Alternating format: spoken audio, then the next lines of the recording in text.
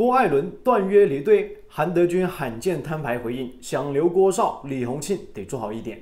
大家好，欢迎收看本期视频，我是阿三。众所周知，那么最近呢，外界都在讨论了郭艾伦到底是不是要离开辽宁队，因为我们知道目前来看的话，辽宁队呢已经和郭艾伦这边呢还没有完成续约，所以这个动态呢确确实啊确确实实呢引起了外界很多的一些关注。毕竟我们很清楚呢，郭艾伦作为整个球队大腿级的一个人物的话，正常来说呢，其实啊，完成一个续约的话，只需要啊一个允诺、一个合同就足够了。但是到现在为止，这个风波发酵到现在呢，郭艾伦包括辽宁队这边都没有任何的一个进展和表态，所以目前来看呢，其实外界呢去猜测的话也是非常正常的，实在是这样的一个现象和举动呢，实在是太过于反常了。所以啊，相信不少球迷可能也比较想关注，说既然说郭艾伦以及官方这边都没有进一步的一些进展，那么到底他们球队的这边的球员队友又是怎么样去看待这样的一个问题的呢？而就在最近的一次晚上直播当中，那么韩德君呢也在这一次直播里面呢进行了一个回应，那么这一次啊确确实实非常罕见的。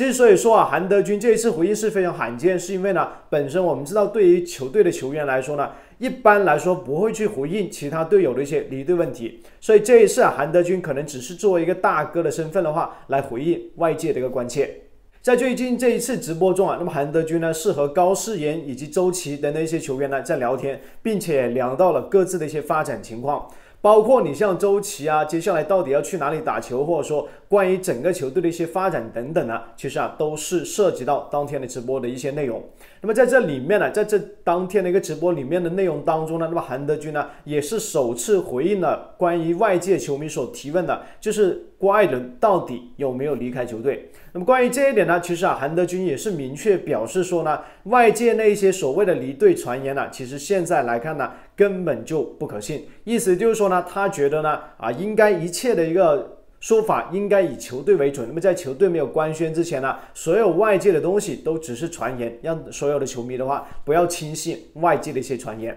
所以呢，其实从韩德君这番说法来看的话，目前来看呢。啊啊，郭艾伦呢，起码说还没有离开球队的。虽然说现在还没有完全续约，但是外界所说的啊，说郭艾伦呢已经看准了广州队，或者说要去到新疆队呢这种说法的话，应该都是站不住脚的。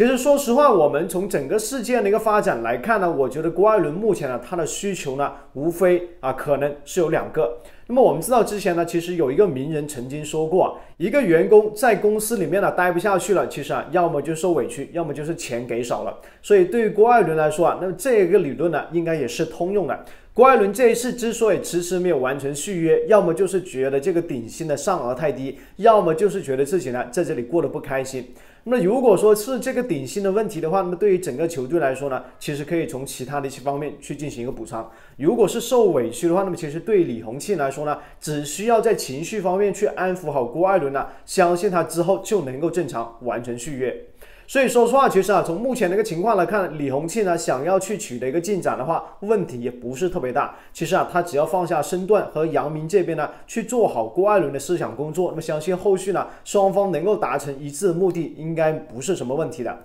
而且目前呢，郭艾伦呢这么多年从郭艾啊这个辽宁队走出来的话，他已经把辽宁队当成自己另外一个家了，相信他也不会轻易去放弃这个家。所以我相信啊，其实郭艾伦接下来留队呢，不会是太多的一些问题，只是说到底是什么时候去决定这样的一个合约，而且的话，到底是辽宁这边能够拿出多大的诚意而已。我们还是希望呢，双方能够继续携手合作，争取在之后的一个赛季啊，能够拿到更好的成绩。好了，本期视频就聊到这里，我们下期继续开心聊球，拜拜。